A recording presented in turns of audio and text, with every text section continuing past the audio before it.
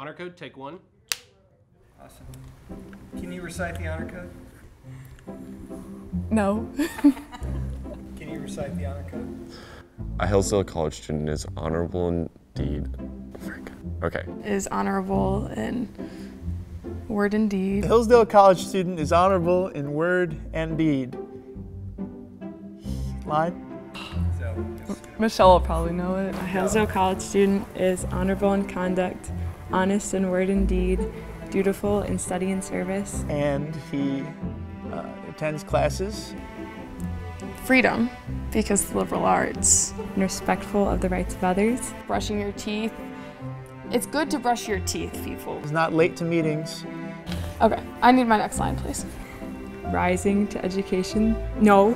can you recite the honor code? Yes, I can. A Hillsdale College student is honorable in conduct, honest in word and deed, dutiful in study and service, and respectful of the rights of others through education as student rises to self-government. Nice. Thanks. I, uh, I have to be able to do it for my job. That's how we start all of our meetings. We recite the honor code. I'm a, you know, senior class secretary. I need to have these things memorized. It's incredible how these things, like how the words of the honor code, how I don't remember the specific phrasing, but like it's integrated into my life. When I first heard that Hillsdale had an honor code, it was at Dr. Arnn's speech that he gave at the beginning of the year.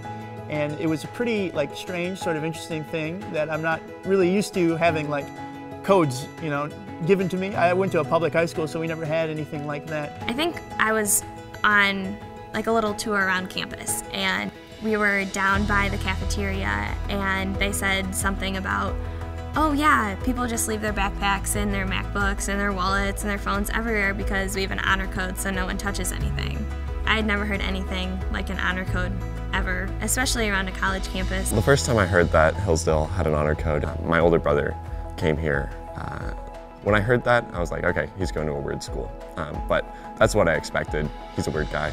The first time I was on campus hearing Dr. Arnn talk about the honor code and uh, the good, the true, and the beautiful, and I cried.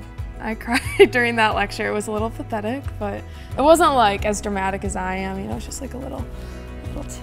The honor code just like permeates out into like everything that we do. Like you can see it in the classroom, in the way that we respect our professors, in the way that we respect other students, in the way that we do our homework, in the way that like we want to help one another and we don't cheat and we don't um, we're not cutthroat. We're not trying to like tear other students down or like manipulate them but we're like want to help one another and do it like in a way that's honest and truthful. Yeah, I think when you view it as a list of rules, you miss out on all the good parts.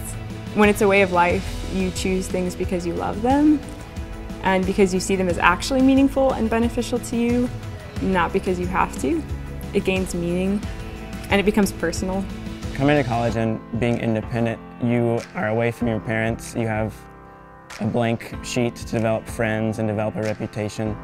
So taking ownership of that was very important. It took me a while to develop that, that ownership.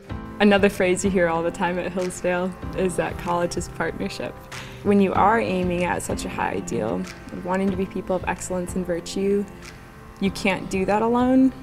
So having a community of people that hold you to a standard, that encourage you, that love you, that teach you, that's powerful. I think the best way to take ownership of who you're going to be in your four years here is to find a community of, of your peers that can hold you accountable. And that when you have to make those tough choices, not only you're holding yourself accountable to something that the college expects you to do, but you're also holding yourself accountable to a set of standards that another community at this campus has put forward for you to, to live up to. Some of the relationships that you're going to build in the first three months at college, and you'd be like, how did I not know these people my entire life? And with that, you have to recognize the strength that is found in those relationships, and you have to be willing to, to call people out with certain things and understand that you want to be the type of friend to other people that you would like them to be to you. Friendship really comes to a head when there's conflict or you know that your friend would be hurt if you spoke truth. I think in those moments, it's selfish as a friend to just tell them what's comfortable, to preserve your friendship now and hurt them in the long run. And it shows real, true bravery to stand up and help somebody in their time of need. And it kind of shows the exact opposite, that, that cowardice. If you're, if you're kind of shrinking away from something that looks wrong or, you know, oh, okay, maybe I should say something, but I mean, he, you know, they probably know what they're doing, but no. If you see something wrong, step up and say something and stand up for yourself and stand up for others that need it. There's certainly a lot of shenaniganery that goes on, um, but we do hold each other to be um, to be honorable.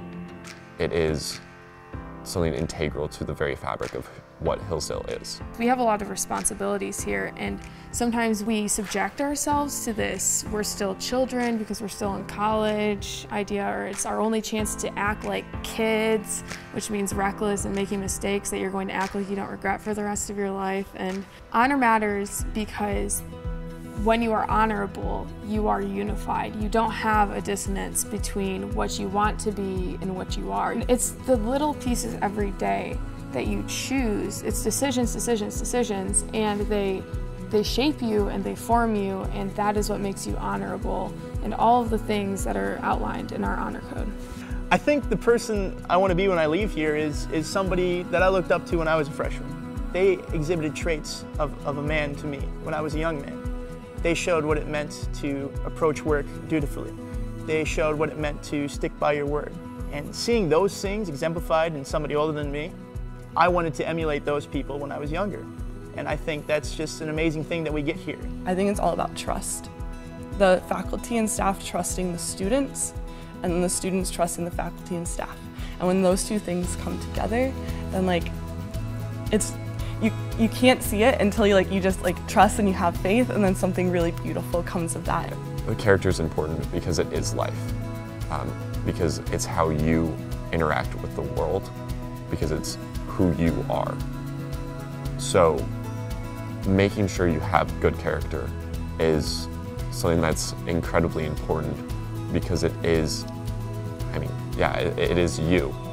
A Hillsdale College student is honorable in conduct, honest in word and deed, dutiful in study and service, and respectful of the rights of others, rising to education. No, yes, through education, rising to self government.